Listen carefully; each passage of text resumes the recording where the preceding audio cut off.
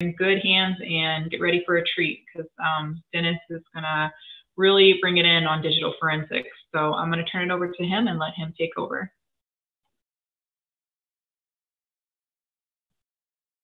Thank you. Good morning. Welcome.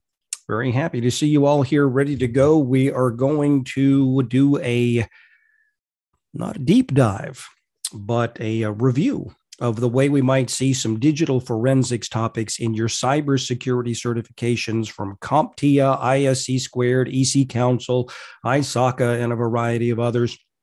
First of all, just want to make sure that you are seeing what I'm seeing a big blue slide. Uh, with the title of the presentation, Digital Forensics Review for Cybersecurity Certifications. We're going to spend oh, about an hour or so in the first part of this presentation. We'll take a quick break of about 10 minutes and then finish up on the other side. And if you stick with us to the end, you should be able to claim uh, two hours or at least two credits of uh, continuing education to help keep your certifications alive from CompTIA and some of the other vendors.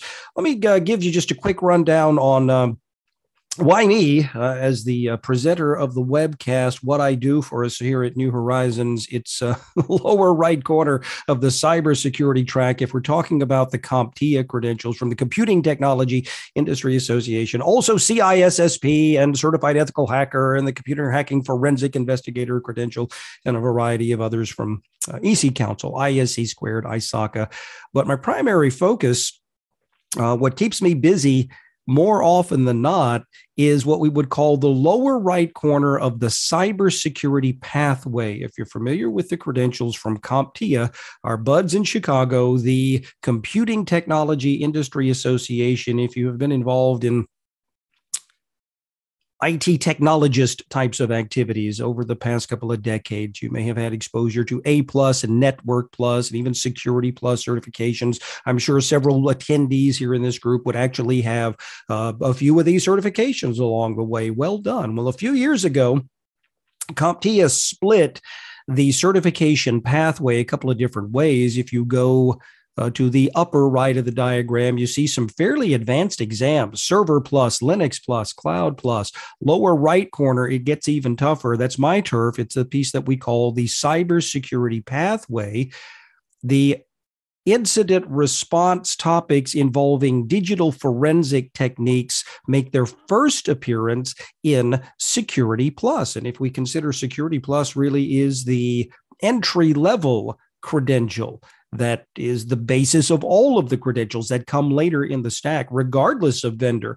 Certified ethical hacker and the forensic credential from EC Council, a certified information system security professional credential, CISSP from ISC squared, the auditing credentials and security management credentials from ISACA. They all love to see security plus in your background, even though that's not an official prerequisite these things tend to get a little easier if you do have that experience. Well done. So, as you go into the lower right corner of the diagram, we run into two credentials from CompTIA that will wear you out on these topics of incident response, cybersecurity analyst plus, and CASP, which is really the top of the certification stack at CompTIA. That's CompTIA advanced security practitioner, puts a management level overlay on some really hardcore technical topics. And if you look at the breakdown on exam topics, in fact, let me do it this way. I'll just do this in a sharing window, drag these over blow them up nice and big so everybody can see this. This is an actual excerpt from the cybersecurity analyst plus credential exam objectives. Love our CompTIA exams. They are so generous with what they put into the public domain to get you ready for the exams. They say, here's an 18 page document with a listing of all the things that you could be tested on if you pursue this credential. Okay, section 4.3, given an incident, analyze potential indicators of compromise, which means you've got to drill in and get some evidence. Given a scenario, utilize basic digital forensics techniques. There it is. They need you to know how to acquire and analyze evidence and draw some conclusions about what happened here. Who did what? Can we hold somebody responsible for this hacking activity? Can we hold somebody responsible for this uh, inappropriate use of our IT services? Can we hold somebody responsible for what is clearly a violation of policy? If we're going to make those types of declarations about who did what, we've got to get the facts straight and we've got to be backed by evidence. So you are expected to know a few things in your certification exams. It gets a little tougher in CASP, where we throw the management level overlay onto this. And you still need to know those hardcore technical topics about how to acquire and analyze evidence in a forensically pure manner. If we're going all the way to presentation in court or maybe presentation to uh, some corporate tribunal, which might make the determination that somebody keeps their job or they're out of here based on what they did, we've got to get it right. So, yes, across multiple security related certification exams these days, you do need to know your stuff when it comes to these forensic techniques in incident response. So that's what we're here to work on today to give you a nice overview rather than a detailed technical background. No lab work in this presentation. We will show you some software, we'll describe some hardware, we will describe some of the legal background associated with this, as well as specific testable topics. So feel free to take some notes.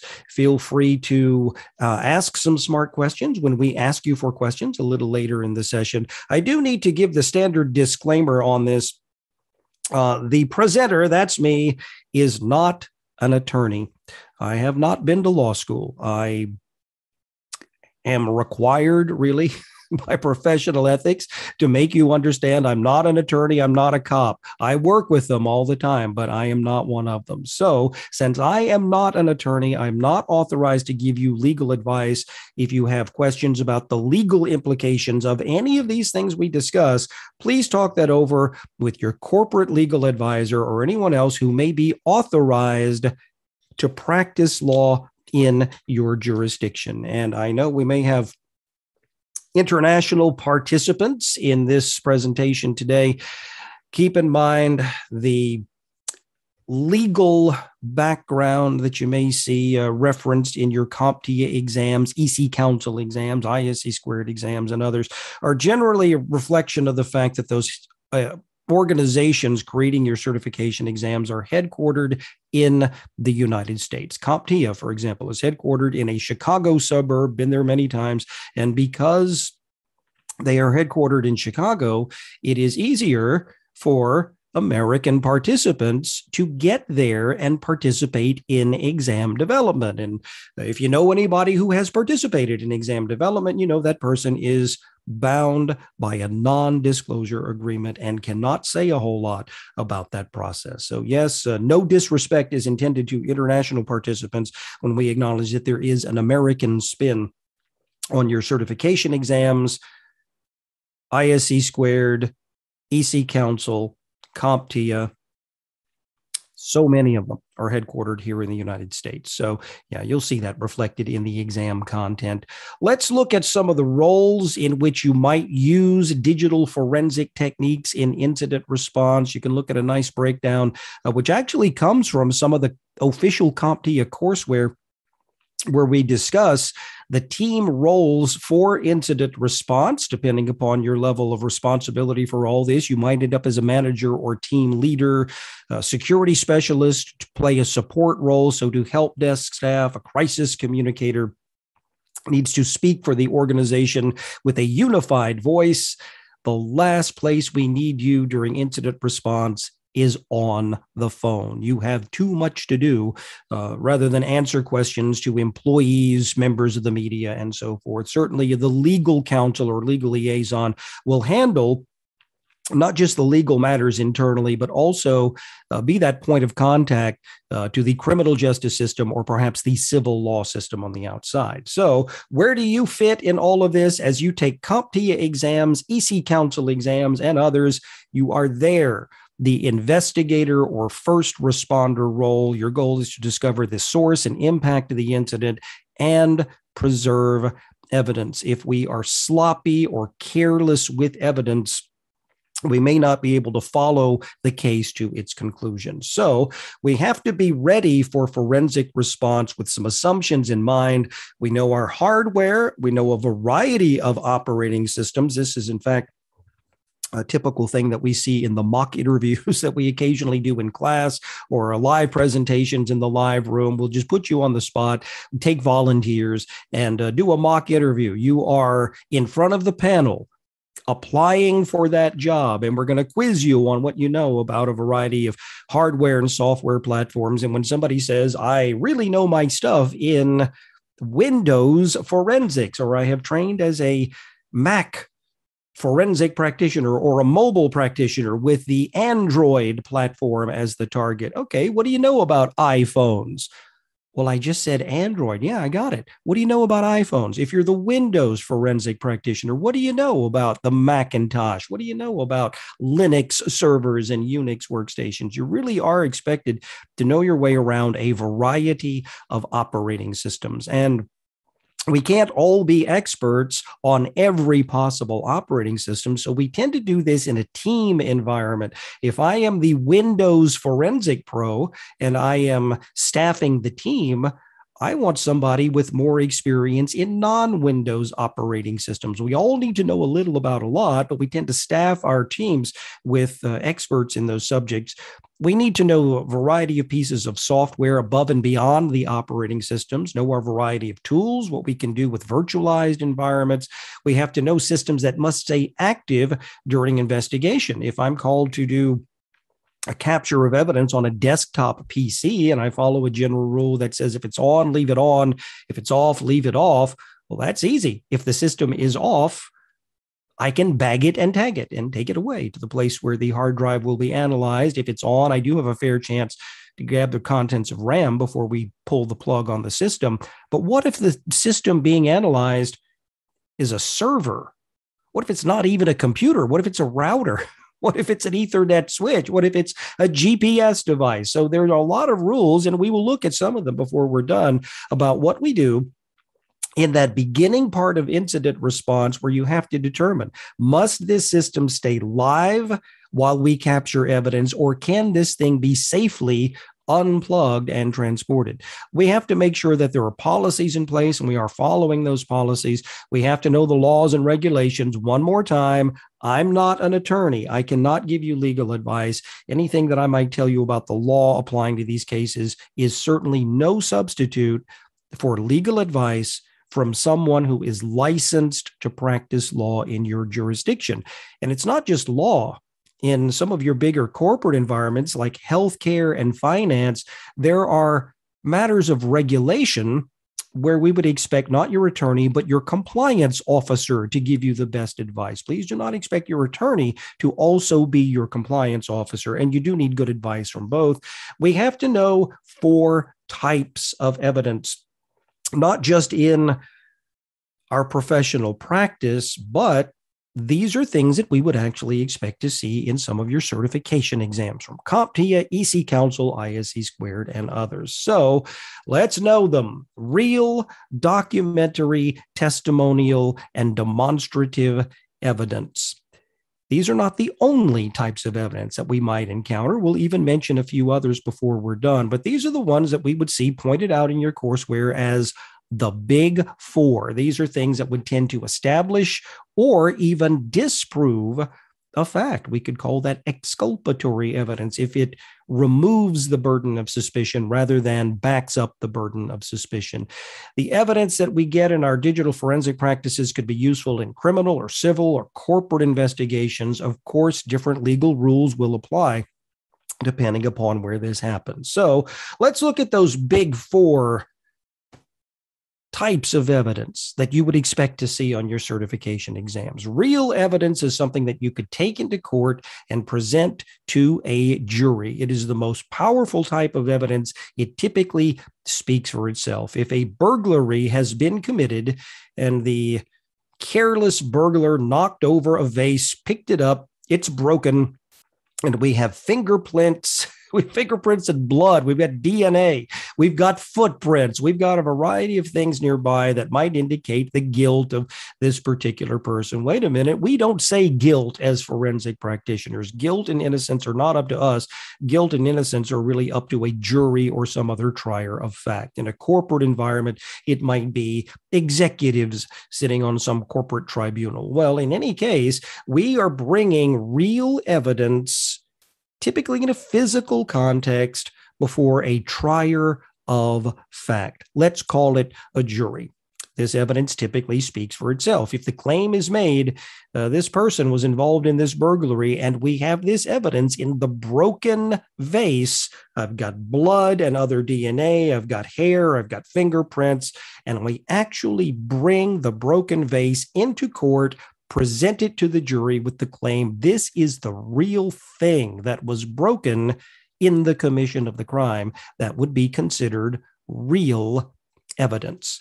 Documentary evidence is generally in written form. And uh, you can imagine the impact of this in your corporate investigations, as we have so many things generated in modern IT environments, which could be considered documentary evidence. Server logs, email spreadsheets, database files, web pages, all part of the modern IT environment. They could all be offered as documentary evidence. However, they could be faked. Somebody with a high degree of technical skill may figure out how to remove an entry in a server log, change something in an email or a spreadsheet or a database file or a web page, cover their tracks. Somebody else temporarily gets blamed for doing the thing that the mischief maker actually did. So, documentary evidence is important. It's not as powerful as real evidence. Testimonial evidence will be the statement of a witness under oath or affirmation. Testimony could be delivered in court or recorded in a deposition. It typically validates or supports the other type of evidence. So, if we have testimony from somebody who overheard the thing that is currently in dispute. If my colleague Terry Mott and I are discussing the sale of a used car. I have agreed that I will buy Terry's car for this amount of money. And I try to go back on the deal. No, I never said I was going to pay you $10,000 for your used Toyota. I said $8,000. Somebody overheard the conversation, maybe even was invited into the conversation. I said 10,000. I owe Terry Mott $10,000 for the used car if we do go through with the sale. That's the conclusion that could be reached from testimonial evidence delivered in court, recorded in a deposition you might put somebody uh, under oath in that circumstance or affirmation. A little trickier to do that in a corporate environment. Talk that over with human resources and your corporate legal advisor. Demonstrative evidence explains or recreates other evidence. It does not speak for itself, but it illustrates, it clarifies previous points. And you might be called upon to help explain a technical topic to a non technical audience. So, if the point of the testimony where you've got an employee accused of doing some inappropriate thing based on their physical presence in the facility, and they say, No, it wasn't me. Somebody spoofed my identity because they were able to spoof my employee ID badge, and the employee ID badge uses radio frequency energy. I'm sure you've seen these types of ID badges. You hold them up to a card reader and it goes bloop, click, and you uh, can go in through the locked door that otherwise would not have been unlocked. Okay. Mr. Tibb, could you describe the technique by which somebody could spoof an employee ID badge that uses radio frequency energy? Of course, I'll be happy to deliver that testimony in court. And so we can describe the process. I address my comments to the jury. It's even better if we do this. If the attorney says, Mr. Tibb, could you demonstrate to the jury how someone would actually spoof an employee ID badge that uses radio frequency energy? I'll be happy to. And I've brought my kit in uh, with the blank ID card, and we've got the uh, real employee ID, and we clone that ID, and it just takes a few minutes to get this done. And we show a demonstration where the employee ID has been cloned, maybe even without the knowledge of the person whose identity was compromised. Whoops, that is called demonstrative evidence. It explains or recreates some other evidence. It doesn't speak for itself. This will be very helpful uh, to help the jury understand. You see this in the cop shows all the time. It's called the CSI effect. We will follow the best evidence rule whenever possible. Evidence presented in court should be original.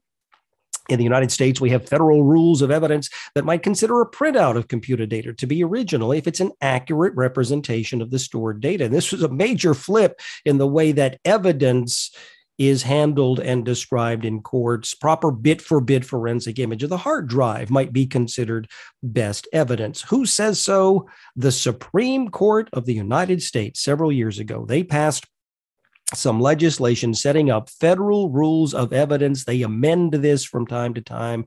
If you follow the link down there at the bottom of the screen, you would see the web page over at the law school at Cornell University. Beautiful breakdown on federal rules of evidence. I'm going to drop this link into the chat window directed to everyone. Grab that link very important and powerful stuff. You do need to know a little bit about federal rules of evidence on your certification exams, like cybersecurity analyst, the forensic exam from EC Council, CISSP, and others. So in class, we would actually point out which of the federal rules of evidence would be more likely to be testable. And we do the deep dive into those federal rules of evidence. For now, grab the link stash that away in a safe place. Look over rule 701 rule 702 look over the expert witness testimony as well. Good stuff there. Look for a mention of search and seizure in your certification exams with special attention paid to how we do this in the United States, going all the way back to the Bill of Rights, the Fourth Amendment to the United States Constitution, give citizens protection against what the writers of the Constitution, James Madison specifically, called unreasonable search and seizure. Uh, failure to observe proper procedure could actually ruin the investigation. The presumption of innocence is not optional. We are innocent until proven guilty in the American legal system. So, if there is suspicion that some criminal hacker uh, is doing their thing and based on registry information, based on IP address records, based on a variety of uh, forensic clues, we can determine that this criminal hacker is probably working out of this piece of the city based on these IP addresses that have been tracked and traced. Okay. The way we see this on the cop shows is that the uh, digital forensic technician says to the detectives, uh, go eight blocks down 33rd Street, turn to the left, the third brownstone on the right, you go up three floors, two doors down from the elevator, there's your hacker. Can't happen that way in real life what we can do is get a general idea of where somebody is and what they're up to. But the cops certainly cannot go to a big apartment building and just go knocking door to door. We believe there is criminal hacking behavior happening in this big block of apartment buildings. So we're just going to go door to door asking to be let in, and we'll look around or let ourselves in if nobody answers the door, and we'll figure it out which one of these apartments contains our criminal hacker. They can't do that. They need search warrants if they're acting on behalf of government, describing exactly what they're looking for and exactly where they expect to find it. And we would expect that those search warrants are signed by the appropriate legal authorities, judges, magistrates, and a few others. In a corporate environment, do you actually need that same type of search warrant? No, you might use some of the paperwork that law enforcement uses and modify this, obviously, uh, to fit the unique circumstances of your organization, where you could get someone to give you consent to search electronic media. And of course, this is going to be a lot easier if the thing you're searching is a company owned device. Uh, you've bought smartphones and tablets and laptops and desktops for your employees? Do you have a right to see what is happening in those computing devices? Absolutely. What if it's a personally owned device? You may have some legal issues. So, again, talk this over with whoever provides legal services to your organization. If it is that corporate or private investigation, so it's not conducted by government, we do not have those same Fourth Amendment issues. There's really no protection against unreasonable search and seizure unless this thing has been explicitly called out in a policy signed by the employee. These types of investigations are generally going to involve violations of security policies rather than criminal behavior, work with the guidance of legal advisors and senior management, and I would even say human resources because of the unpleasant effect on the career path when somebody is found to actually break the rule and uh, they know they were supposed to uh, follow the policy it's very difficult for somebody to say, I didn't know this behavior was not appropriate. Well, Sparky, you did in fact sign the acceptable use policy when you first came to work for this organization. We've got your signature on the document. You got a copy. We got a copy. Let's dance. Look at some things related to the scope of the investigation. Here is the goal. Want to gather admissible computer based evidence of a crime, a security policy violation, or a similar incident. And you will notice that I have put the word admissible in bold and italic, and it is one of about 12 times that you will see it here today, just in this brief time that we spend together. The evidence might be located in a variety of devices computers, laptops, desktops, tablets, smartphones even the network itself, even the infrastructure devices like servers, routers, switches, wireless access points. There is evidence everywhere. And we do not always have the luxury of powering a device down, taking it away to a forensic lab. So we have to be extremely careful in those circumstances where law enforcement gets involved.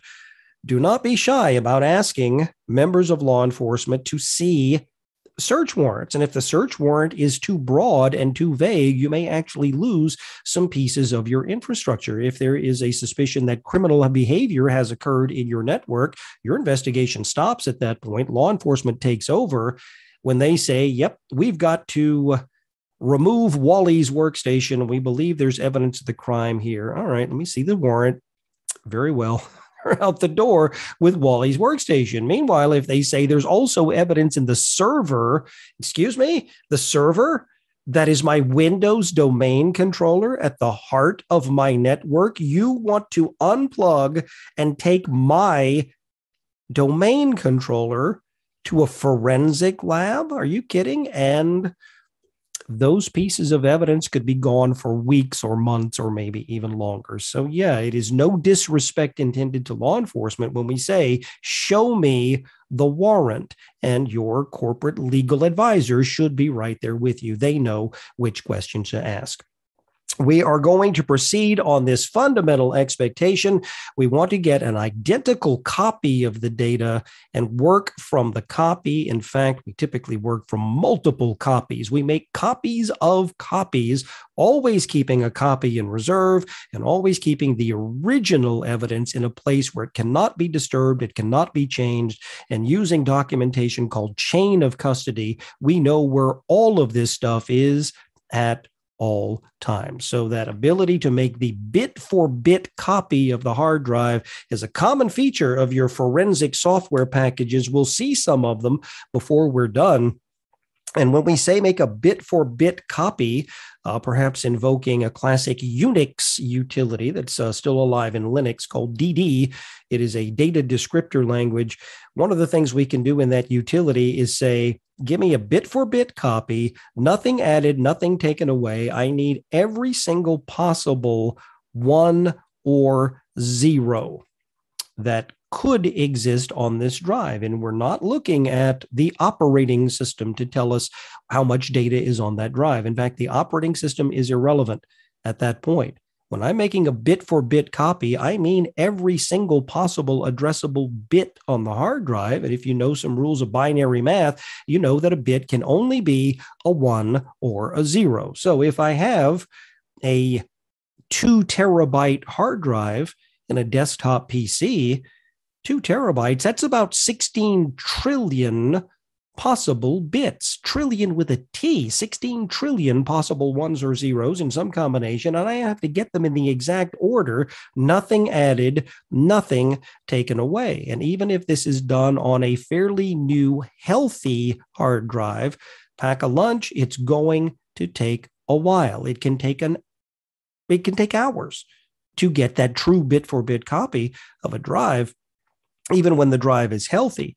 If it's some old ragged out hard drive that has been in service for many, many years and there are dead spots and other drama happening on that hard drive, it can take even longer and it can take multiple attempts to get the bit for bit copy, which is really scary because every attempt has the capability of actually changing the evidence. Here's the good news your modern forensic software knows exactly how to acquire those images of evidence bit for bit. And then you get a variety of utilities to help you examine the evidence that you copied. We're never actually doing this on the original source of the evidence. And so the rookie mistake in this case would be well, I've got a backup utility. We use Ghost, we use Windows Backup, we use Time Machine in the Mac environment where we've snapshotted our virtual machines. Why can't I just go into those backups and look for the evidence that would either prove or disprove the case. Nope, not happening. We need a forensically pure copy of the data because this needs to be admissible in a court of law. And for that to occur, we have to make sure we have not done anything that could actually write information to the drive or any other storage device. And when I say write information, I mean if you flip a bit if there is a one that flips to a zero or a zero that flips to a one out of the 16 trillion possible bits on a two terabyte hard drive, one out of 16 trillion, you have ruined the case. You can no longer pass that off as a true, authentic copy of the true original evidence. So if uh, the evidence is there on somebody's Windows desktop PC, and you boot into Windows to run the backup utility, or you go flipping through files looking for uh, what you believe is the evidence. Nope, we've ruined it. Even just running the backup utility will alter timestamps and log entries and other data just copying the files will not get that very valuable data in Slack space. And I can't even ask the operating system to show me what is in Slack space because the operating system doesn't know about the Slack space. If you think about what happens when you delete a file in Windows, and this would be a fun question to ask to uh, the non technical user in your corporate environment. Hey, Wally, what happens if you've got this document on your desktop. Let's say it's a spreadsheet. We have a Microsoft Excel spreadsheet on your desktop. What happens if you drag that Microsoft Excel spreadsheet into the recycle bin? Well, uh, I've gotten rid of it, but can you get it back, Wally? Oh, yeah, I know how to do that. Open up the recycle bin, click on the thing, and do a thing called uh, restore or recover. Boom. Yeah, just because something is in the recycle bin or the trash can uh, in uh, the Mac, it doesn't mean it's gone.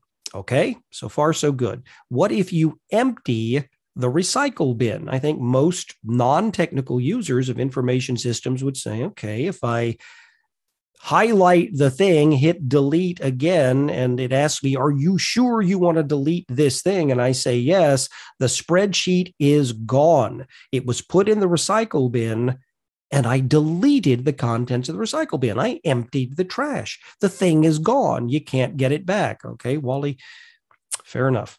If that's what the user thinks, that's fine. We know better as technologists, obviously. The thing is not gone. There are traces of these things on the hard drive. In fact, even a simple consumer level undelete utility could get that thing back if you get to it in time. Well, what if you don't?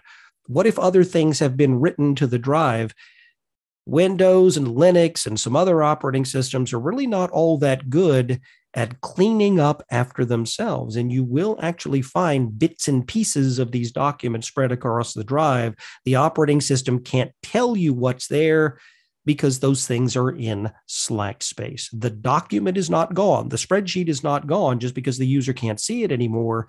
It's the index information that has been compromised. The data is still there, but the operating system doesn't know how to get to it, doesn't know how to work with it. All right. The connection between the data and the operating system has been compromised. You will see these bits of information hanging out in Slack space, and your forensic software knows exactly how to reclaim those things if they can be reclaimed.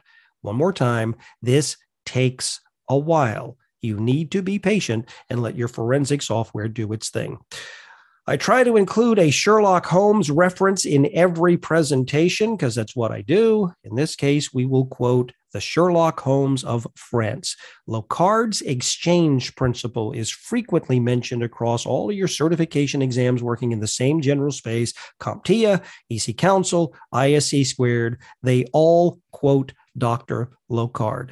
This man built the first modern crime lab in the uh, city where he lived in France, Lyon specifically, he went to the police chief and asked for the two room space in the attic of the police station that was not being used for other things. He was granted permission and he actually created what we now do in modern forensics. So Locard was famous for a variety of things, but uh, most often we quote his exchange principle there it is on the screen. I don't need to recite it, but Locard's point was the physical presence of the person who committed the crime has left clues. Well, so do you as the investigator. We can never visit the same crime scene twice because it's not the same crime scene anymore. Well, okay, let's uh, map this over to your corporate environment. If you respond to an incident, and we say, okay, we're going to quarantine this site, this office, this cubicle. We're going to go through a procedure reference. We are going to do our best to contain the evidence, make sure nothing gets tam- contaminated, so we can make these copies of things, hand these things over to uh, the lab technicians and others involved in the effort. That's great. Here's the problem it's no longer the original scene of the incident. As soon as you get there, it becomes the original scene of the incident plus your presence at the scene.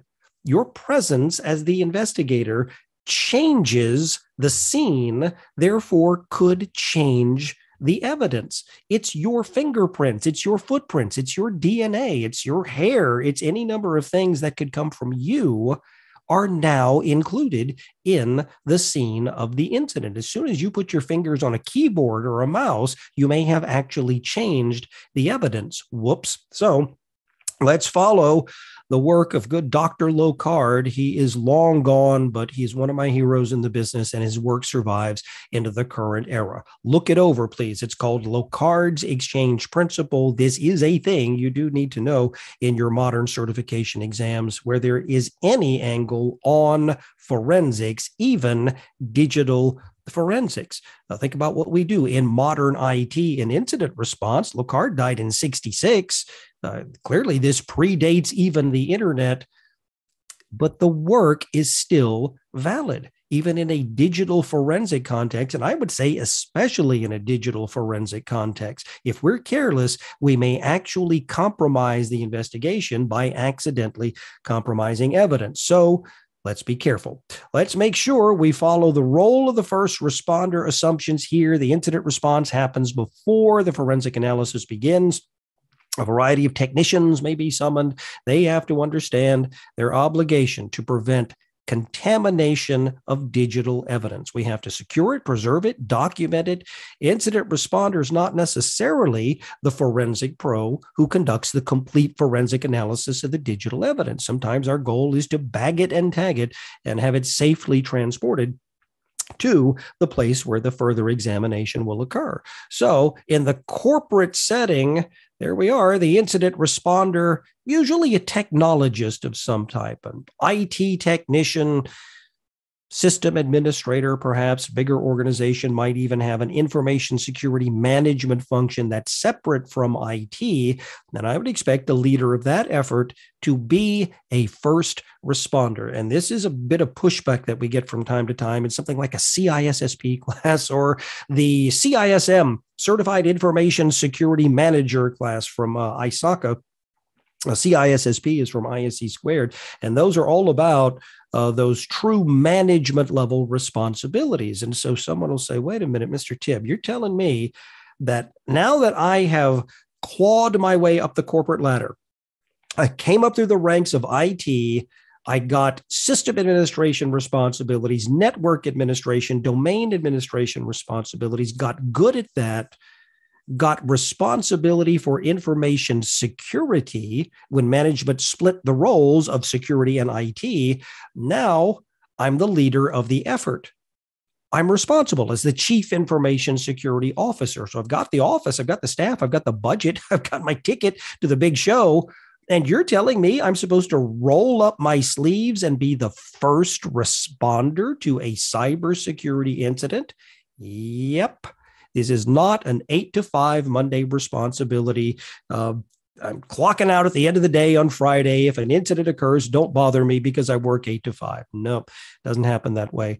Typically, the more responsibility you get for information security management, the more likely you are to actually be the first responder. And I know that is counterintuitive, but there's nobody better qualified in your organization than the information security manager who has seen it all and done it all. They take leadership of the first responder team, maybe actually hands on. So, that incident responder generally is a technologist, perhaps a manager. Over on the criminal investigation, we're dealing with police, sworn law enforcement officers, crime lab technicians may handle incident response, give them what they need to get the job done. Do not get in their way. Unfortunately, here's the problem. We believe we are responding to a corporate security incident and in our investigation of the corporate security incident, we reached the sickening conclusion that a crime has been committed here. Whoops. Your investigation ends at that point. If you are the corporate personnel, you may have screwed it up already if you're not following a good forensic practice. So, work with your corporate legal advisor who will be that liaison to law enforcement. In fact, pro tip uh, this is uh, the classic uh, advice we give in Security Plus and then all the way through the certification track. Mr. Tibb, how do I get better prepared? When I have to deal with this in my corporate environment, oh, that's easy. Take a cop to lunch before there is a crisis. Figure it out. Who is the person in your local police force, your sheriff's office, if you are uh, in or near a state capital, maybe a state police organization, find out who it is that would have authority in that police force for these cybersecurity types of investigations. Take that person to lunch and have some candid discussions about what you might expect from law enforcement once the event has occurred, that's the worst possible time to have to figure out who you need to contact in your local police force. It's going to be a lot easier to get some of this stuff done if you already know them and they already know you. So let's look for some good advice. There's a couple of links, and I will uh, click on these and drop them into your chat window. Well, there we are. A couple of documents from the National Institute of Justice, which is part of the Department of Justice. They have an Institute of Justice programs, and they have published this beautiful manual and they update it from time to time. It's the Digital Evidence Policies and Procedures Manual. This is seen from the perspective of federal law enforcement, but anybody uh, would get some benefit from learning these techniques. And this is the type of stuff that we do quiz you on uh, in your certification exams. And some of these instructions are even the source of some of the lab work that we do in those certification prep classes. Here in the United States, the best advice is assumed to come from Uncle is your tax dollars at work. So, sure, we're going to follow good advice from the National Institute of Justice. That's at the Justice Department. We're also going to follow good guidance from the Commerce Department. The document is called The Guide to Integrating Forensic Techniques into Incident Response. So, if you are in the live session in Zoom, uh, what I can do is actually drop those links. Uh, when we come back from the break, you will see a set of links. In fact, I may be able to do it right now. Stand by just a second. Yeah, I think we can do it this way. I'm going to grab this link and I'm going to drop this into the chat window with the chat window toggled to the word everyone. So if you're in the Zoom session, go ahead and grab that link, pull that document down, pull this document down as well. And uh, my uh, colleagues handling the social media stuff, I'm sure, can copy those links uh, into the other feeds, the Facebook feed and the LinkedIn feed. So good stuff there. Free guidance from uncle. That's a pretty common theme on your certification exams that, again, are usually written by practitioners here in the United States because you're certifying organizations like CompTIA and EC Council and ISC Squared and ISACA are headquartered in the United States. So there is the American spin. However, uh, I can tell you from my professional practice, some of the best advice that I have ever gotten and some of the best advice that I have ever pointed people to is not from Uncle, it's from the police in the United Kingdom, England, Wales, and Northern Ireland the organization called the Association of Chief Police Officers has put together a remarkable document called the Good Practice Guide for Computer Based Electronic Evidence. And as I reviewed a lot of this documentation that's in the public domain uh, to make the determination that we would or would not use those things in our certification prep classes, this occurred to me many years ago that this document was the single best document that I have ever seen for that basic training approach to how we handle digital evidence. Well, of course, this is how we train rookie police officers in the United Kingdom uh, who will screw up investigations if they are not careful with digital evidence. So it's beautifully written document. Uh, the legal system quoted there is the British legal system based on English common law. So, uh, if you have this familiarity with the way this is done in the United States, you may see uh, some definitions and some terms that are not as familiar. But there is the link uh, in your chat window if you're watching this in the Zoom session. And the real payoff from that document, and the reason we share this in your certification prep classes anytime we mention forensics, is what we will call the four principles from the good practice guide for computer based electronic evidence. So, no action taken by law enforcement agencies or their agents should change data held on a computer or any other storage media, which may be subsequently relied upon in court. Okay. If I am the corporate practitioner and uh, I have no indication that we're going to court, should I really follow that guidance? Absolutely. If you don't work in law enforcement, you should still consider the possibility that what we do may be called upon to be explained in court. If we're not even looking at a criminal issue, which would involve law enforcement, but just a civil law issue. We believe this employee is doing something inappropriate. The evidence is there in their workstation. We analyze the evidence, we report the evidence to management, and we say, "Yeah, I think I think we got the guy. Wally is the one cooking the books and stealing the widgets and doing these awful inappropriate things." And management says, "Well." We're tired of this guy. We're not going to call the police. We're just going to handle this as an internal matter. Okay. That's management's decision but then we uh, get pushback from the employee. The friendly termination becomes the non friendly or unfriendly termination. You can't fire me. I'll see you in court, chief. the employee is out the door threatening legal action. And a few days later, the attorney comes knocking, and the disgruntled former employee is now suing your company whoops, if we did not use appropriate forensic practices in gathering and analyzing that evidence, uh, we may actually lose that case in a civil court of law. So, this is not just about criminal matters. So, you would substitute law enforcement agencies in that description for uh, those corporate investigators who may actually be you. Second principle in circumstances where a person finds it necessary to access original data held on a computer or other storage media, that person, that's you, must be competent to do so and be able to give evidence explaining the relevance and implications of their actions. This is about accountability from the investigator. Third principle an audit trail or other record of all processes applied to computer based electronic evidence should be created and preserved, and an independent third party should be able to examine those processes and achieve the same result. Sure, if you and I are equally talented investigators, I check your work, you check my work, we keep each other honest.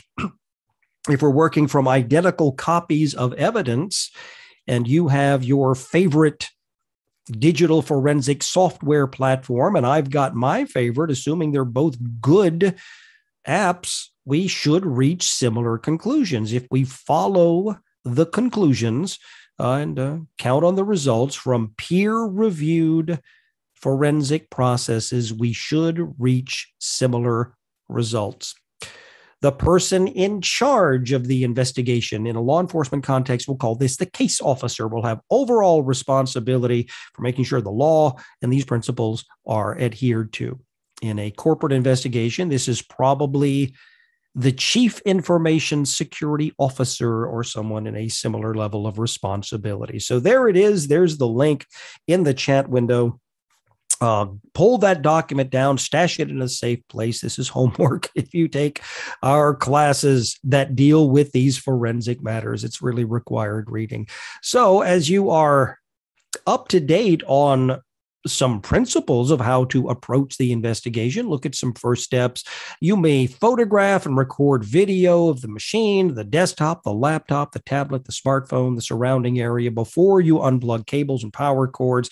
And by the way, when you photograph that uh, crime scene or photograph the scene of the incident, you're not doing that using your personal smartphone or even a company owned smartphone. You are going to use a camera that was designed to be a camera and nothing else. It may take still photographs, it may take video, probably both, but it's not a phone. You do not want somebody to make the claim that evidence may have been tampered with or may have been compromised across the network, right? The cameras we use for this should actually really be cameras and not anything else. Photograph whatever data you see in the monitor We'll draw a diagram detailing locations of peripherals and how they're connected to the PC. A simple sketch is a good way to start. You also have some of these sketching and diagramming utilities built into your forensic software. Used for removable media, CD ROMs, DVDs, USB drives. We even see good old floppy disks from time to time.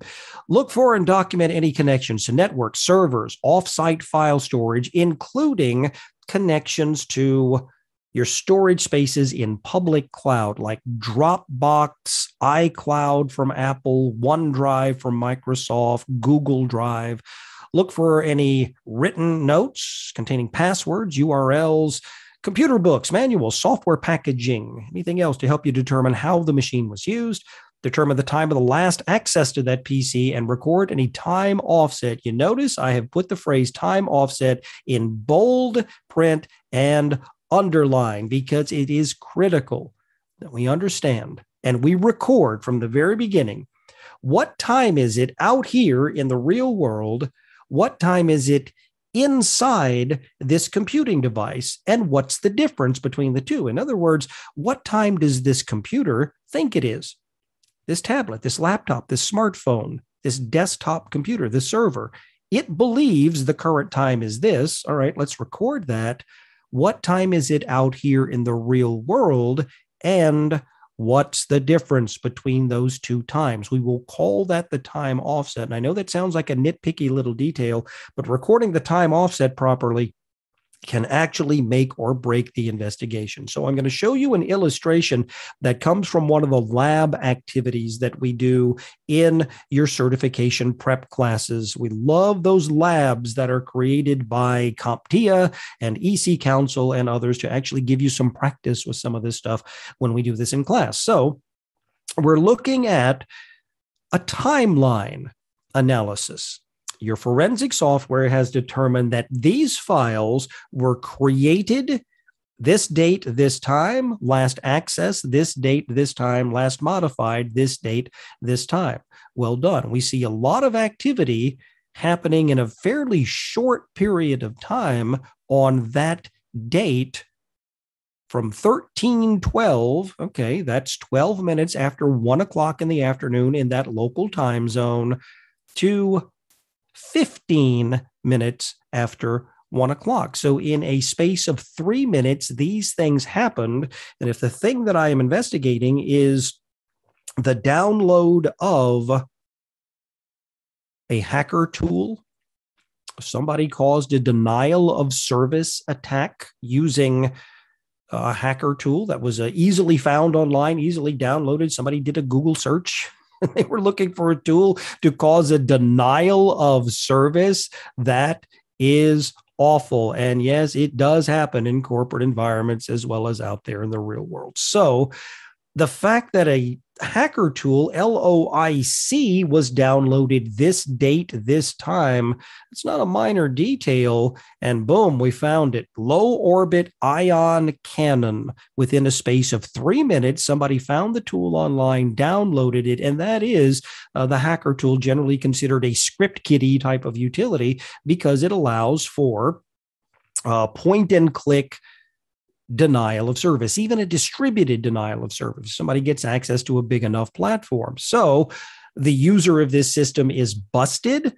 Not necessarily. As we say in fraud investigations, we must place the suspect behind the keyboard. Wally, you were logged in at the time this thing happened, you owe me an explanation. And now Wally's offended because I've accused him of what is probably criminal behavior, or at least a very serious violation of a corporate policy. And if Wally says, wasn't me, Mr. Tibb, I was in the company cafeteria like I always am between 1230 and 130, and he's got proof. We've got video surveillance. We've got eyewitness testimony. We have the point of sale system where his debit card was used to buy lunch in the company cafeteria and the cashier in the cafeteria remembers Wally telling her some stupid joke while he waited for his receipt.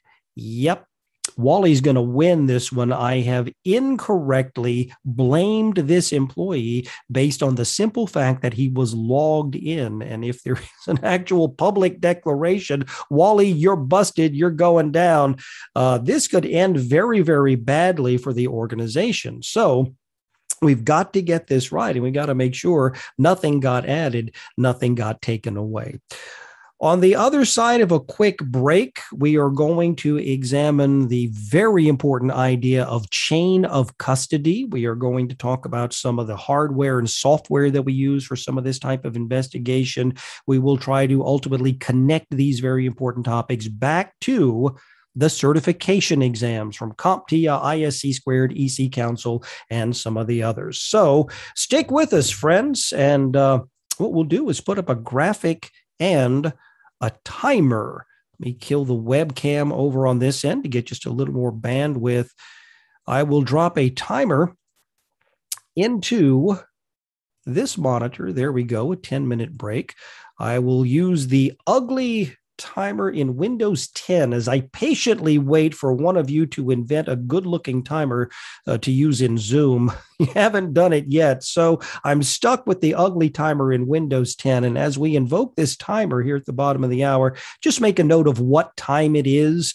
Uh, I have 1129 central time so 11:39 central time is when we need you back feel free to use that chat window uh, while we are in this break. If you need to check in with uh, the folks managing the session, the social media folks, the people who will get you on the mailing list to get a variety of uh, goodies, parts, and pieces associated with this presentation, uh, check that chat window, especially if it is marked everyone. Uh, if you're here with us live in the Zoom session. All right, we're going to step out here for just a bit. Take this opportunity to refresh yourself. We'll see you back here in nine minutes and 20 seconds.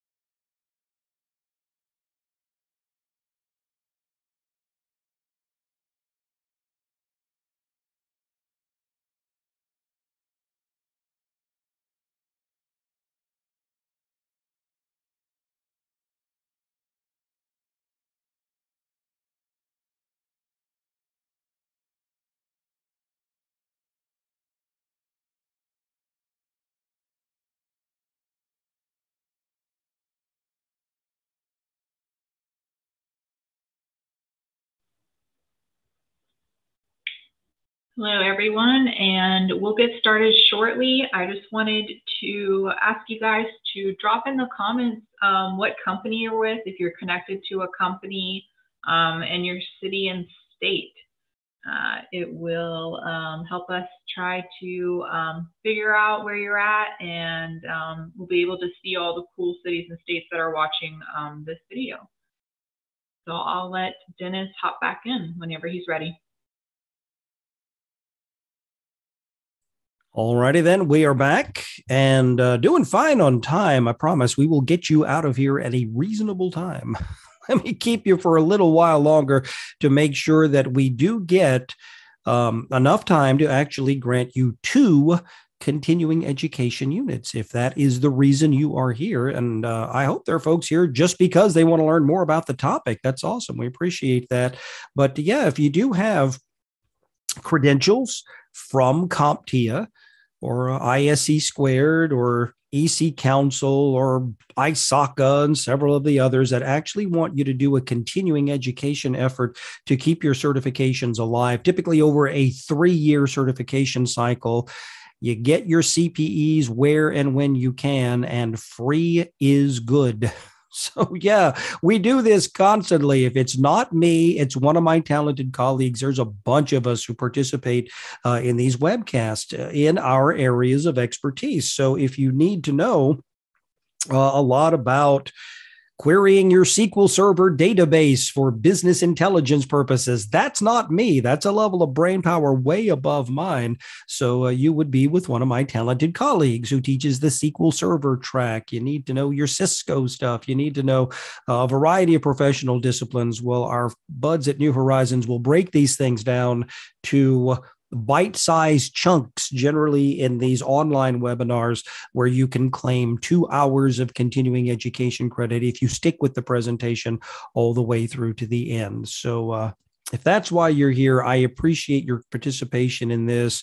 Uh, check in, please, in the chat window. Uh, you may be seeing this through the Facebook platform. There's a variety of ways that you may end up seeing this uh, material, but the uh, folks back on the administrative and marketing side uh, will drop some uh, chatter into those chat windows to make sure you can interact with them in a way that you will get your continuing education credits. You'll get a certificate for being here today. All right, let us continue as we're talking about the scope of the investigation and the timeline analysis that is so important. Let us look at the principle of chain of custody. This is one of those things that is always going to be in the vocabulary uh, and all of your certification exams that have anything to do with incident response. We have to be sure nothing gets added, nothing gets taken away. Obviously, uh, we don't want to be uh, in a situation where somebody could claim that we've tampered with evidence or even allowed evidence to be tampered with through carelessness. Well, it's not just we said we locked this stuff away and nobody could have gotten to it. I can't just take this smartphone or this tablet or this hard drive that contains this evidence, lock it up in my desk drawer, and go home for the day and unlock it again the next day and continue the investigation. That investigation is ruined if I have been that careless because I have not observed chain of custody.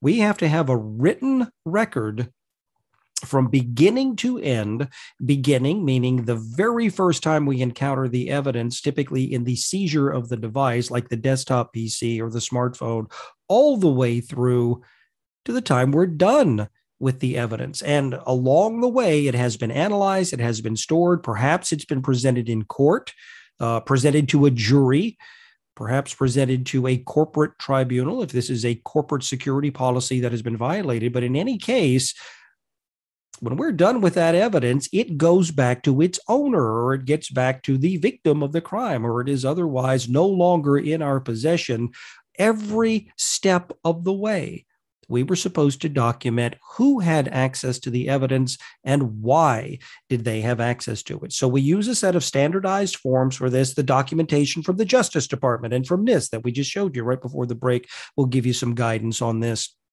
Our chain of custody documentation helps us to answer these questions. Where has the evidence been? Who had access to it? What's been done to this evidence? Has it been left unattended? And for how long has the evidence been subject to tampering? Is there even a possibility that somebody could have gotten their hands on this evidence and therefore altered the course of the investigation? So this takes very careful logging. Uh, the investigators and other participants, even starting with the first responder, will log things like case numbers, item numbers, evidence tags, date, time, location, personnel, who collected the evidence. We get signatures, we get timestamps, we even get witness signatures in really high profile cases. We don't leave any of this up to chance. We don't even want anybody suggesting there could have been a collusion between the investigator and the custodian of evidence. That's the person who cares for the evidence when it's not in the hands of the investigator. So we might even get third parties involved in this to witness and even photograph the handover of the evidence. It is that important in a high profile case. We will even include hash values where your forensic software and other utilities can throw a bit of math at a piece of evidence, get a mathematical digest, an MD, as they call it, a message digest like MD5. And uh, some of the other algorithms will generate nice big log numbers representing the value of the evidence itself. And the idea behind hashing evidence is that if the evidence has not changed over the course of the investigation, we should be able to prove that mathematically. So we throw this app, uh, sometimes a simple command line utility, at this file. We have hashed it before. We will hash it again. And if you're familiar with the term checksum, perhaps because you've seen that in some of your certification exams, it's the same thing a hash value, a checksum. It's all the same. We throw some heavy duty math at a piece of evidence. We should get the same number over and over again. And if the resulting hash actually changes, that means the evidence has changed. So we will see these hash algorithms and similar methods built into our forensic software and we can break these things down into two general categories of tools when we consider the hardware based approach. Our incident response tools will be the hand tools, the cabling, the identification supplies, everything involved in the bag it and tag it effort.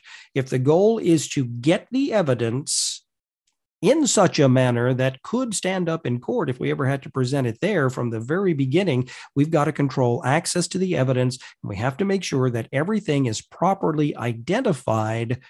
The goal may be at that point to transport the evidence under controlled conditions to the laboratory. Have that hand off to the forensic practitioner who may take the investigation from there. In some rare cases, the corporate investigator may actually be the forensic practitioner. You could be that one examiner shop doing all of this yourself in house. So the analysis is done under controlled conditions dealing with the evidence that was retrieved from the scene of the incident. We have some essential hardware that we see for incident response, like bringing a laptop with you for the acquisition of data usually with some variant of Linux in it. And we'll talk about that. I'll show you some samples here before we're done. Uh, write blocking is done in both hardware and software. We'll take a variety of hard drives, USB drives, a little simple network equipment like a network hub or a network switch, a variety of cables, and all of the classic crime scene tools for labeling things that have been taken into evidence. The bag it and tag it approach for more traditional forensics is still alive in digital forensics. Gloves, hand tools, cameras for both uh, recording photographs and video. And remember, that camera is not the one built into your smartphone. You need separate devices for this. There are a variety of kits ready to go. This one is from our buds at Paraben.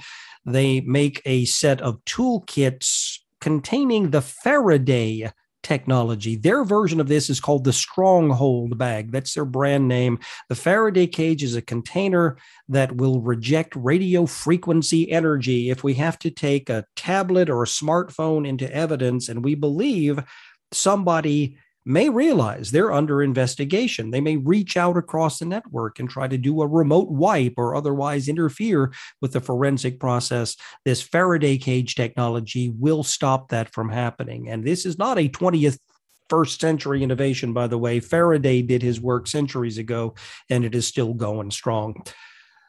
Over at the lab, the forensic workstation is not just a typical tower PC built out with multiple drives. These things are generally manufactured specifically for the purpose of forensic workstations you don't just convert a desktop PC to this. This is expensive and well worth it. In fact, it is possible to get that forensic lab environment accredited by the Association of Crime Laboratory Directors.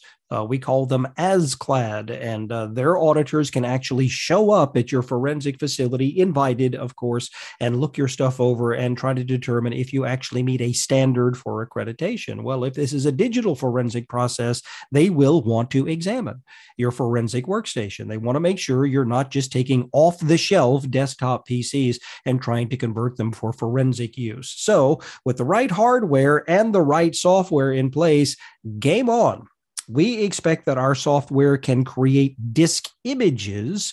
We're not talking about images in a photographic context. We're talking about a complete set of data mimicking exactly what was on the drive, whether the drive is a traditional hard drive, a solid state drive with no moving parts, a flash drive, thumb drive, even a good old floppy disk, a backup tape, any of these sources of evidence need to be copied bit for bit nothing added, nothing taken away. And we need to be able to prove mathematically with hash values that we are dealing with true, authentic copies of the original evidence. So these are some of the things that we would expect to see as capabilities of our forensic software running in the appropriate hardware platforms. This is one that gets a few uh, Scooby Doo head tilts from time to time when we talk about this in class. Permanent file deletion. Wait a minute. Isn't the whole point of the investigation to make the bit for bit copies and examine the copies? In what bizarre circumstances would we actually need to permanently delete a file?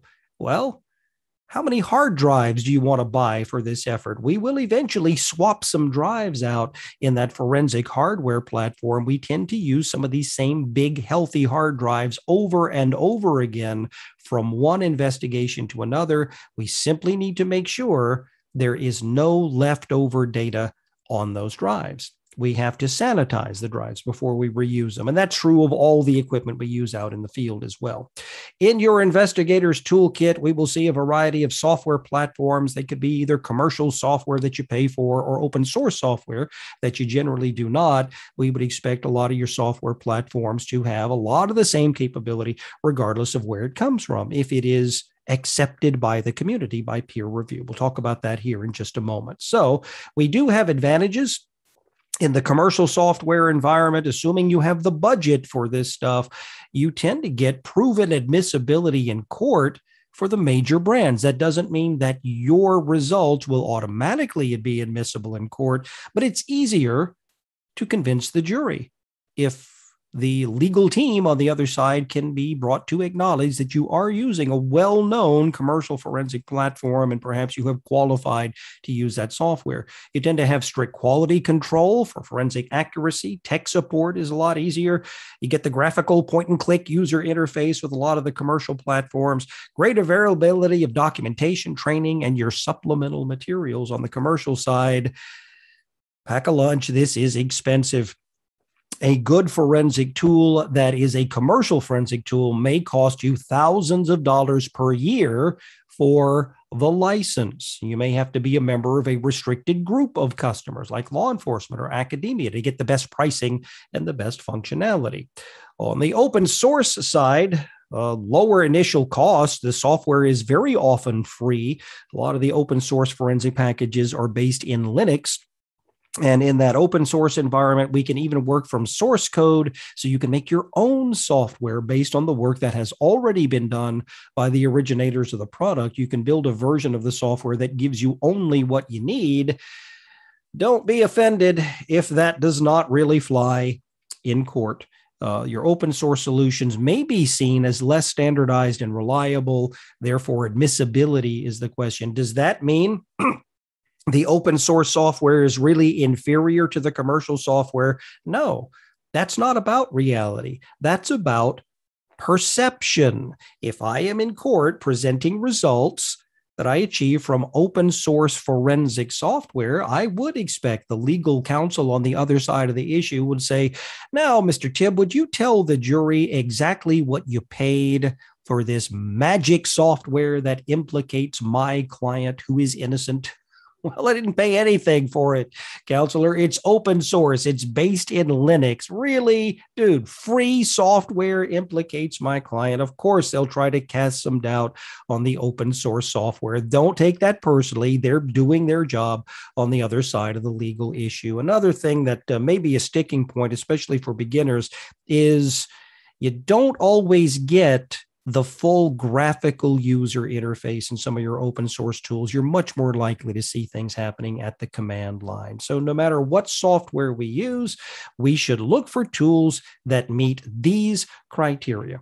They're accepted by law enforcement, security pros, the legal community.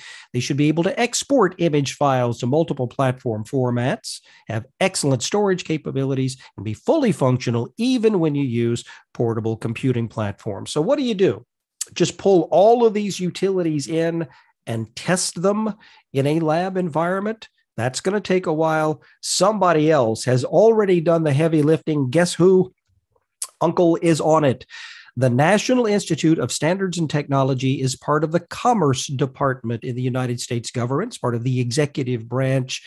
Many, many years ago, they were given the authority by Congress to be involved in standards making and testing related to those standards. So I don't have to do the heavy lifting myself. It has already been done. I am going to trust this guidance from the Commerce Department. And if you're viewing this material outside of the United States, there is probably an equivalent to our Commerce Department in your federal government every federal government should have somebody responsible for standards making and standards keeping. Well, here in the United States, that's at the Commerce Department. The thing is called NIST. They have a computer forensics tool testing program. There is the link at the bottom of the slide. Let's pull this link up. Let's grab this. I'm going to drop this into your chat window. You should see this if you're watching through the Zoom platform. Uh, and there it is. This is where you can connect to the computer forensics tool testing program and you can actually search for those utilities that meet the standards specified by NIST. So, a good source for guidance. I'm going to trust the feds in this case. I want to call your attention to a couple of software platforms that we typically see in the labs associated with the certification classes we teach at New Horizons as partners of CompTIA and EC Council and a variety of others that need you to know about this stuff. You will very often see lab activities involving a commercial product called the Forensic Toolkit. And the Forensic Toolkit comes from our friends at Access Data and uh, there has actually been uh, a shift in the branding recently. There was an acquisition, and uh, let me drop this on you. Here it is the actual download of the product. Uh, go get this, please. This is important. You're going to get a head start on your homework if you take uh, a variety of classes with us at New Horizons where we actually put you in labs and uh, you do these things in sets of virtual machines where it is very safe to actually operate the product. Uh, you actually go in, you examine some data, you make the disk drive images with tools like FTK Imager and a few of the others. So, yeah, you can get a head start on your labs and certainly, this is an excellent thing to know about in your professional practice. This comes from Access Data. It is part of a bigger company called Exterro because there has been a merger recently. Uh, FTK is one of those well known platforms that's just been around as a commercial product for a very, very long time. Well known, well respected. NIST and others will tell you that this is good stuff. So, the way you may see this in the lab uses the free component of the forensic toolkit called the FTK Imager. And there in the chat window is the link uh, to go get the freebie. And that's a pretty common thing, excuse me, among commercial software vendors for these expensive forensic utilities, they'll generally give you a freebie to get started. You don't get the full features of the software, you do get enough of the product to get comfortable and familiar and think, you know, I might want to actually license the commercial product. So, yeah, if you're uh, with us in these labs, uh, for cybersecurity analyst and the computer hacking forensic investigator credential and others, you actually get to use the products in a controlled lab environment. So in this case, the FTK imager is used to uh, deal with some captures of evidence. There is an image file that has been captured. We'll pull that in. We use the DD utility to get that uh, raw image of the disk drive partition, pull this into the app, and now we will do some analysis based on what the tool tells us. You see hexadecimal values converted to text values. There is the evidence we're looking for in that particular lab exercise. This is a uh, an intellectual piracy issue that we actually try to solve uh, in that lab. And you see all of the metadata associated with that thing that was downloaded, where and when, uh, the absence or presence of encryption, uh, the absence or presence of uh, somebody's attempt to conceal the data by hiding it somewhere where the investigator would not think to find it. You don't have to do the heavy lifting, friends. The software is smart enough to figure this out. So, this is one that we loved uh, demonstrating in the lab, and you have some fun with it when you do this in the lab activity. So, go get the thing. There is the link. We put that into the chat window. The forensic toolkit from Access Data, the EnCase family of products from Guidance Software, the Paraben products. You see a variety of them in your labs. We get you started with those free versions and encourage you to continue gathering knowledge by getting your own version of the product. Even the free versions would be of some value. Over on the open source side, love this. Uh, when I get the question in any class, not just the security related classes, but even in things like Linux Plus and Network Plus. some of the other pluses from CompTIA because I do teach the entire stack. Uh, somebody will always say, usually one of the enthusiastic rookies, when we're talking about Linux, uh, they'll say, Mr. Tim, what is your favorite Linux distribution? What flavor of Linux do you love the most? And they expect me to say Red Hat or Fedora or even Kali Linux, which we use for penetration tests and vulnerability assessments. Nope, it's this one. It's one dude in Italy, and he will update the software when he feels like it. So don't bother him about updates, but go check in from time to time over at caine live.net. And what you can download is this remarkable Linux platform called CAINE. It is the computer aided investigative environment. This is based in the Ubuntu distribution of Linux. This is loaded with forensic tools. I have never had to add anything to this forensic distro of Linux. Many, many times that I've used this out in the field, I've found that I am pleasantly surprised with this distro called CAINE. Uh, there is a Windows side as well as a live uh, boot side just loaded with all the classic open source forensic tools. It's one guy in Italy maintaining the distro. So he'll update it when he feels like it. But the updates have been pretty regular uh, in recent years. And the documentation is just awesome. You tend to get community based documentation on your open source products. Well, this one is really good. I love it and I highly recommend it. So, this is a great way to get started in some of your forensic investigations for free in a safe environment. It is called CAINE, the computer aided investigative environment. Another one that we're seeing in the labs these days is this one called CSI. Linux, CSI as in crime scene investigation. And this is another one of those that is loaded with free open source forensic tools. And because it is Linux, it is free, it is awesome. Go get it. So there are the links uh, at the bottom of the slides, I have dropped those in uh, to the chat window, and you should see those if you are watching uh, this presentation in the Zoom platform. Let's consult some experts, please. Before we are led astray, we want to make sure that we are using not just good software and hardware, but actually peer reviewed procedure references. In this case, it's not NIST, but uh, I'm sure there's a lot of cross pollination between NIST and this group. It is called the Scientific Working Group on Digital Evidence.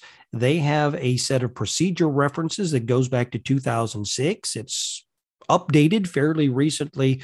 Uh, you'll see many, many updates per year dropped in to that list of published documents.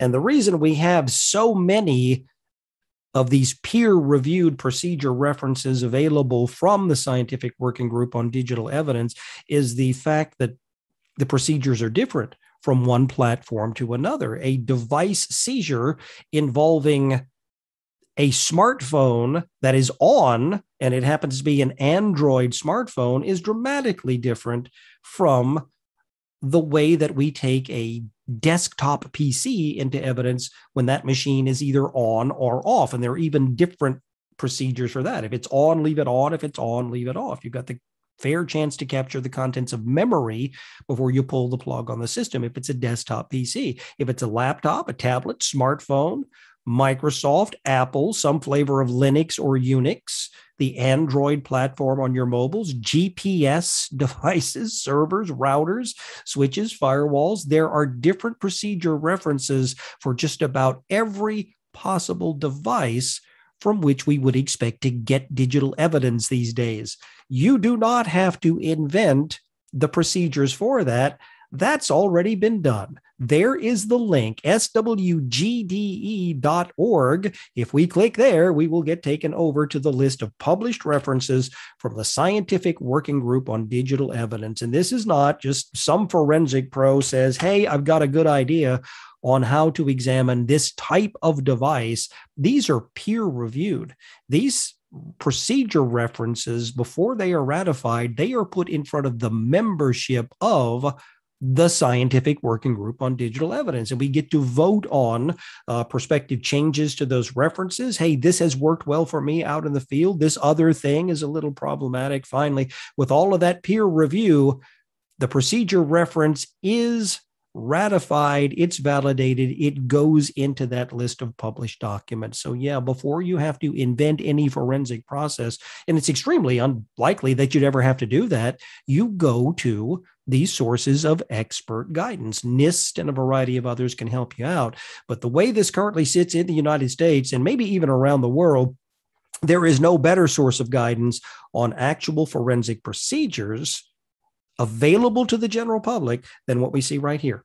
This reference from the Scientific Working Group on Digital Evidence. So please follow that link, bookmark that. That is homework. That's a thing that we actually work with in class. Let's look at a few things related to the handling of digital evidence. We've talked about chain of custody. You keep this documentation uh, those lists of who had access to the evidence and when and why. We get signatures and timestamps and witnesses sign off on all of this. Every link of the chain of custody has to ensure your evidence remains unaltered. So we use standardized and repeatable processes and documentation, whether we do this in the lab or out in the field we have to make sure the evidence is as undisturbed as possible. And we always conduct our investigation with data integrity in mind. Imagine yourself in court, maybe even in a corporate tribunal, and legal counsel is staring you down from the other side of the boardroom table. But it's probably a lot easier just to imagine uh, answering these questions in court. How was the original source being protected? How was the evidence acquired? How was it copied? Did you change the original data in any way? And how can you be certain that any of these things is actually correct? If you answer, I don't know to any of those questions, your evidence might be ruled inadmissible or invalid. Whoops. So we have to pay very careful attention to what we do when we encounter volatile data uh, things that are in memory, not written to the hard drive, but actually in RAM, uh, memory caches, CPU registers. Those things are extremely fragile. Those things will be gone uh, when the power is not there. The device is either accidentally or deliberately separated from electricity. Poof, certain pieces of evidence will no longer be available. So, when we find the desktop PC on, we leave it on until we can get those bits of volatile data. You may be instructed at that point to try to image the hard drive and more persistent sources of data. You might also be instructed to simply pull the plug on the system and transport it to the forensic facility. You would never go through a menu item in the typical desktop incident response because as soon as you grab the mouse, click on the item in the start menu to power the system down, you have interfered with the evidence. Whoops, you can no longer pass that off as the true and original evidence. Remember Locard's exchange principle that we showed you earlier. So we have this perishable data. You've got to get that immediately. There is more persistent data available, the opposite of the volatile data, things that would tend to remain in storage after the power is off. Might seem a little easier to securely collect this compared to volatile data, but if you make a mistake in the collection process, you may end up with useless and inadmissible evidence. The rookie mistake is actually mounting the drive to look for evidence. We never do that in the field or even in the lab. So you have to enforce write blocking. We create a bit for bit image of the disk drive, and you have to do this for as many hard drives, flash drives, and other sources of evidence as pertain to that investigation. It can be a tedious and time consuming process. You've got to babysit it from beginning to end. You do not set your software up. I'm going to capture all 16 trillion possible bits in my two terabyte hard drive. I'll just let this run overnight and I'll check on this again in the morning.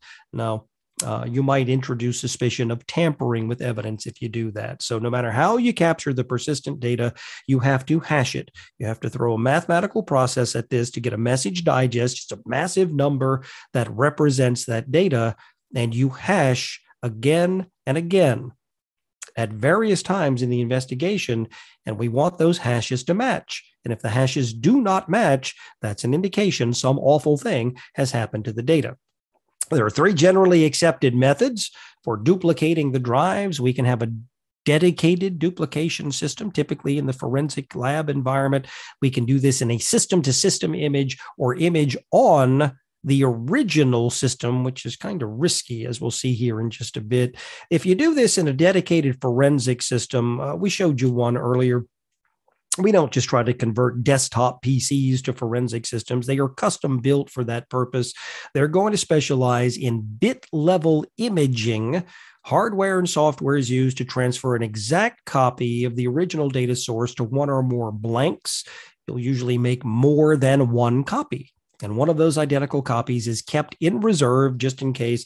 If you use good forensic practices, we should get the same results on identical copies of the drive. It's not always practical to bring that system back to a forensic lab. So you might do a system to system image. Depending on the types of drives and the types of connections available, we boot from imaging software on bootable media like CD ROM, DVD, USB drive, transfer that data using a variety of uh, cabled connectors, serial, parallel, Ethernet, USB. Could you do this by Wi Fi or even by Bluetooth? Yes, you should not ever use a wireless method to do it. It's possible. Uh, this generally is going to be questioned if you try to present it in court. So, yeah, don't use Wi Fi, don't use Bluetooth for this. This is slow.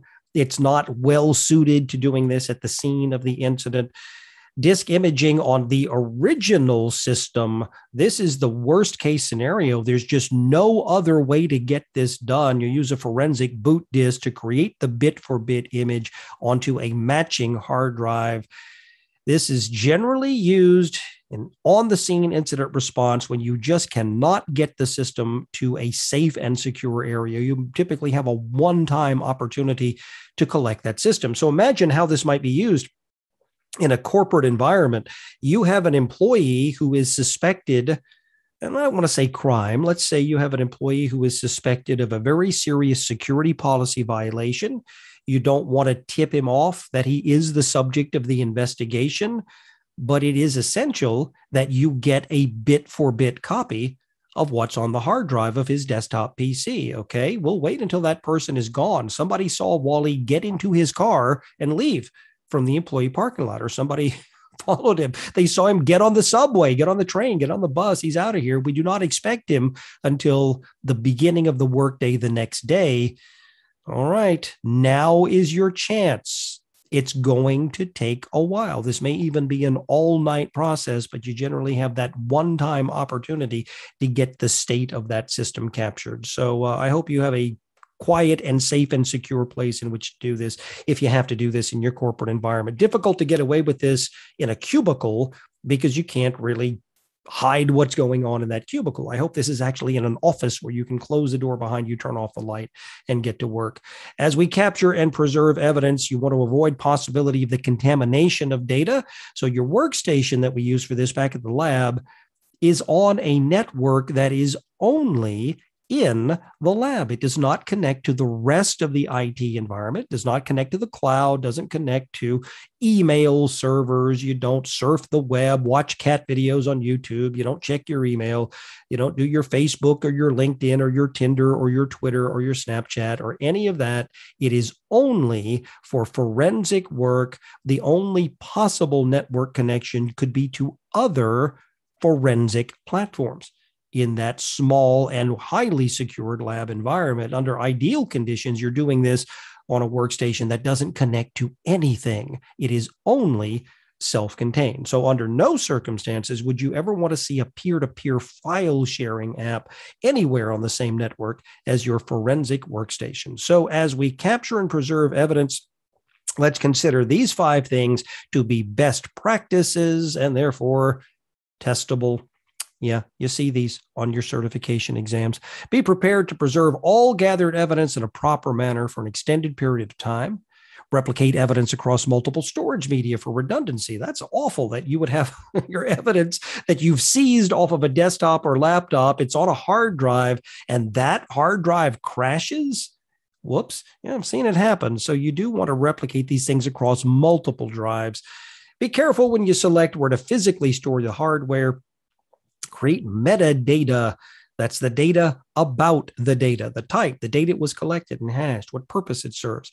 Evidence rooms need proper physical controls, locks and guards, and cameras. A word that we have seen over and over again from the beginning of this presentation is the word admissibility. This is so important. I will call it the key concept, the way we see these forensic topics across all of your certification exams and in your professional practice.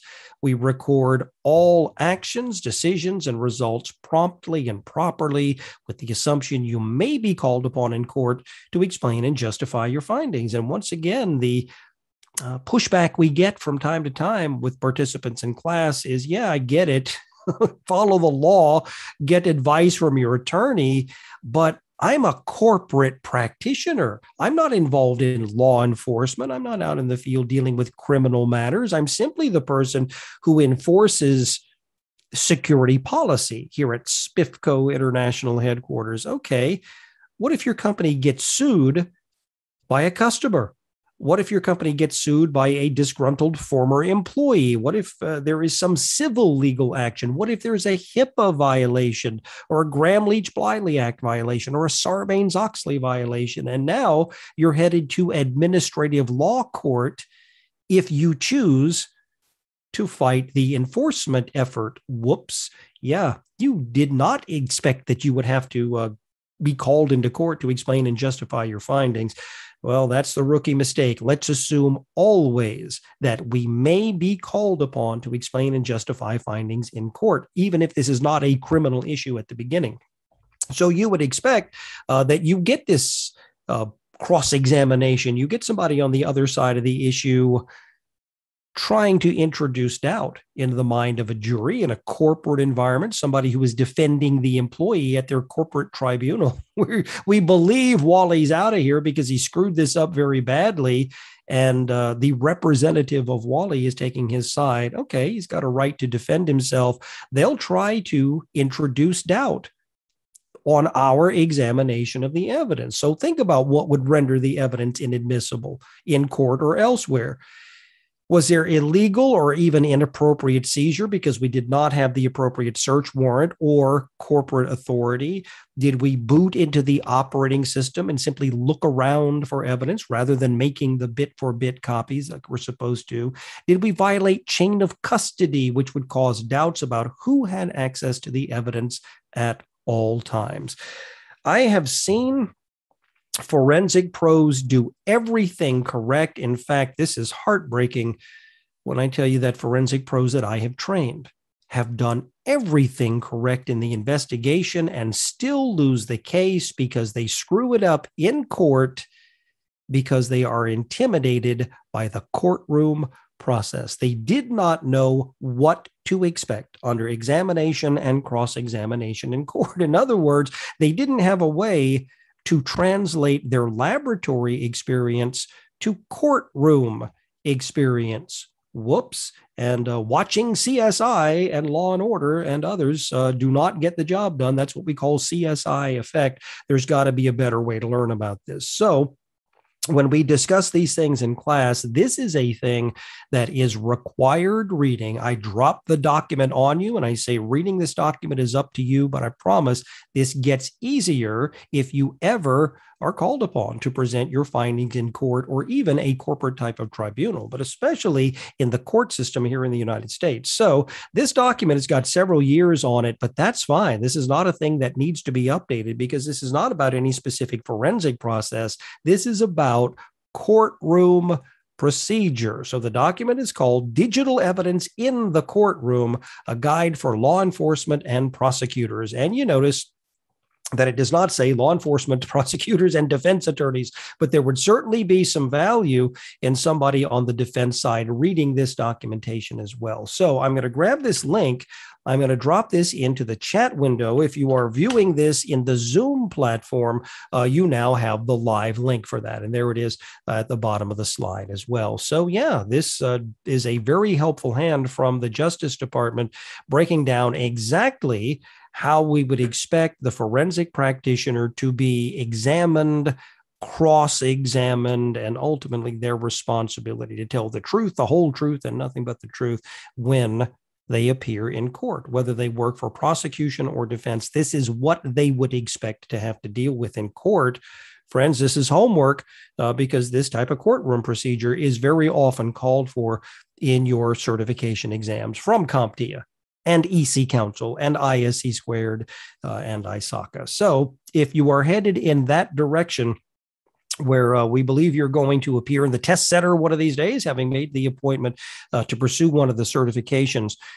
Get back in touch, please. Uh, come find your account executive at New Horizons if you have one. They know how to get in touch with me on short notice. Even if you do not appear in class, we may be able to give you some guidance on doing well on your certification exams that deal with this stuff. That cybersecurity track that we mentioned at the beginning of our presentation today is a hot ticket, friends. And of course, all of us uh, who teach in this environment tend to be cheerleaders for uh, whatever piece of the certification track we have. Well, in my case, it is that uh, lower right corner, as we saw earlier, of the CompTIA cybersecurity track, uh, cybersecurity analyst, CompTIA advanced uh, security practitioner, and a few of the others, even going all the way back to Security Plus. Your certificate of attendance here today uh, is helpful because we are authorized providers of continuing education for your EC Council credentials, your CompTIA credentials. All of your certifying organizations have different rules for how they deal with uh, your continuing education credits. Well, here's good advice if you are in the CompTIA certification track about how much continuing education you can claim under each certification for each type of activity. You are here today attending a live webinar. So if you're trying to get your Security Plus uh, continuing education credits in place, you can claim up to 10. And well, we got two here, and you do two more and two more and two more uh, from different webinars put on by us at New Horizons and a variety of other reliable sources. Yeah, you get your CEUs knocked out with webinars 15 for cybersecurity analyst, 20 for CompTIA advanced security practitioner. I have to go take the exams, and my colleagues at New Horizons have to go take the exams anytime the exams are new because we're supposed to know what is on the test to be able to effectively teach you how to pass the exam. We don't brain dump, obviously. Nobody at New Horizons or any other legitimate training organization is ever going to help you cheat on an exam. We don't do that. But the more we know about the exam, the better position we are in to help you in your certification quest. So, we have to take the new exams when the exams get updated. You do not. You simply need to maintain your continuing education effort with EC Council, CompTIA, ISACA, ISC squared, and the others. So, you know who knows a lot about this? It, it's not just us. It's not uh, just the subject matter experts who are the instructors of the material. Your account executive at New Horizons is also a subject matter expert. Sometimes they're called education consultants. If you have ever had any personal interaction with New Horizons, uh, coming to take a class or take an exam, or if your organization has that existing relationship with New Horizons. You might or might not know that person, but I promise there is somebody at your local New Horizons facility who is set up to get you what you need. Those people are called account executives. Sometimes they're called education consultants. They may have different names in different places, but there's always somebody there at New Horizons who has been there and done that and can get you what you need in testing and qualifying for the certification, getting you into the appropriate training. There's even job placement assistance. We love those emails. Hey, Mr. Tibb, I got the job. Sincerely, Sergeant Susie, comma, CISSP certified ethical hacker. I love to see that in your social media profiles. I love to see that in your signatures, in your emails, when you get back with us with questions and comments, or even just letting us know how you did on your certification exams. We absolutely treasure and value that feedback from you. So don't be a stranger. If you've got questions about any of this stuff, you're welcome to drop a question or a comment into the chat window if you're here in the Zoom session. But keep this dialogue going, please. Present questions and comments and inquiries to your contact at your local New Horizons facility and get in touch. Let us know how you're doing with this stuff and give your uh, smart folks over at New Horizons the opportunity to continue to assist you in your certification quest. Even if you don't know that person by name and you're just now getting introduced to your account executive at New Horizons, I promise that person is working for you quietly behind the scenes. Um, and they're going to do a good job for you get in touch. Don't be a stranger. Let them know how you're doing with all of this stuff. They can put you in touch with me. They can put you in touch with uh, your career placement folks, the people handle career development matters at your local New Horizons facility. They are always on your side and they're always looking for a way to better serve you. So get in touch. Let us know how you're doing with this. All right. Terry Mott, how are you? You have been uh, quietly there behind the scenes, keeping an eye on all of this stuff. And thank you very much for the opportunity to uh, address this group. This has been a good group.